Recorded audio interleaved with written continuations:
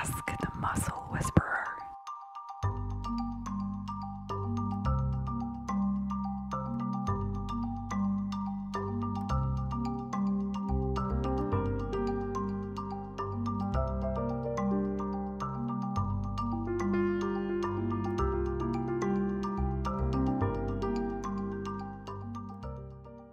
Hello, I'm Emma Gilmore from School of Bodywork and here today to talk to you about cancellations and no-shows and considerations around this in this time of coronavirus.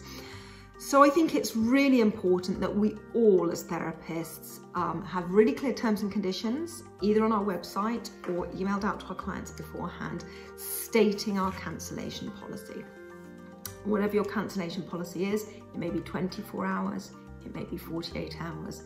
Um, you may charge your full fee or you may charge a half fee um, for missed or cancelled appointments. I personally use 48 hour notice um, and I do charge the full fee because our time is limited um, and I could have filled the appointment with somebody else. If somebody's not turning up to appointment, I really need to know in advance and then I can refill the appointment. So I do think be realistic and be um, have enough self-respect to stick to your cancellation policies. And hopefully you have a really great client base that has enough respect for you that they're going to pay you um, their no-show or their cancellation fee with absolutely no argument. Um, at the moment, I'm actually, again, due to coronavirus, asking people to pay in advance so people pay when they book. So that's even less of a problem these days anyway. If, however, due to coronavirus, um, somebody is ill, um, of course we don't want to see them in our clinic. Um, same goes for other illnesses. So I would be far more lenient on my cancellation policy.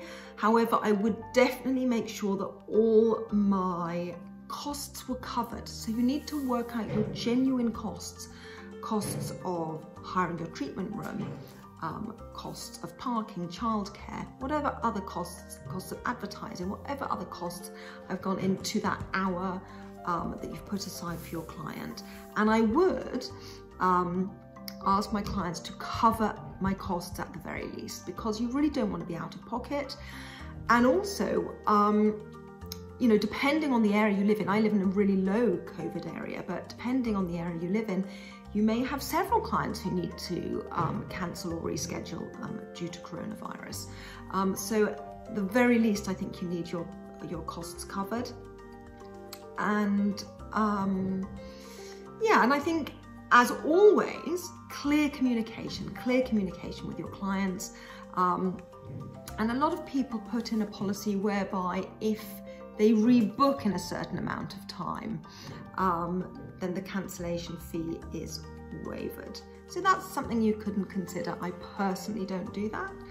Um, so yeah, like I said, most importantly, get a cancellation policy in place, terms and conditions in place, make it really clear by email and on your website so your clients know where they stand, um, hopefully we build a client base of really respectful clients who respect us and realize this is our, um, our, our, career, our way of making money.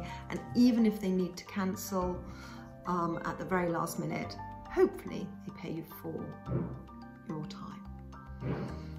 Um, I wish you all really good luck um, going back to clinic. Really exciting times for all of us.